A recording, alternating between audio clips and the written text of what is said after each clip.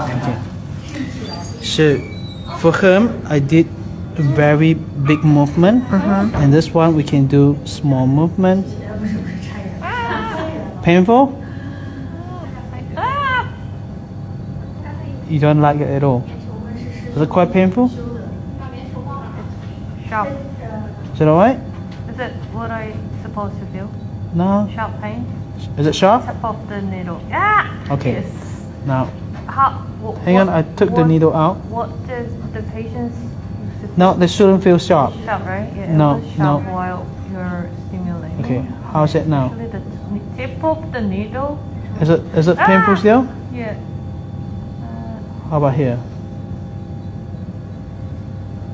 Uh, are you moving it now? Yes. Oh, it's not that sharp. Okay, a small movement, you see? and short the Yeah, movement. that's it.